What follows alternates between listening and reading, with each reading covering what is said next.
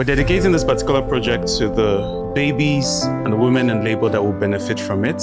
We're dedicating this to the lives of Nigerians that actually matter, especially at a vulnerable part of their lives. And we hope that this project continues giving and continues saving lives and helps the good people of FMC Ekwe to continue saving lives. Thank you.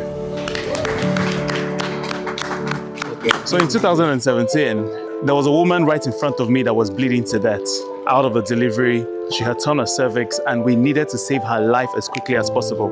In the process of saving her life, power went out. I was forced to use a phone touchlight with just one medical personnel and try as much as we can to save this lives. And I realized that the difference between being alive and staying dead might just be power light.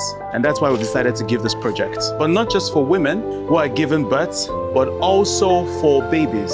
Most times, you know pure water, there are babies that are that small.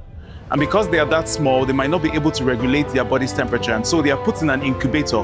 Now imagine a baby who is that small put in an incubator where there's no power supply. The chances of survival would actually be very small. And that's why we also donated this to this hospital so that babies can stand a chance, mothers can stand a chance during delivery.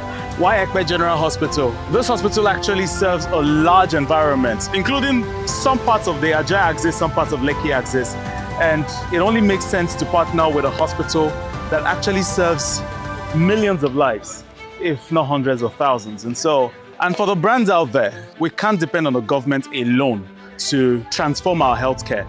For example, this is why I chose the Luminous Rayverter brand to join me in this project. To bring life and soccer to millions of Nigerians along the Epe axis. You and I can actually do a good job of actually saving their lives.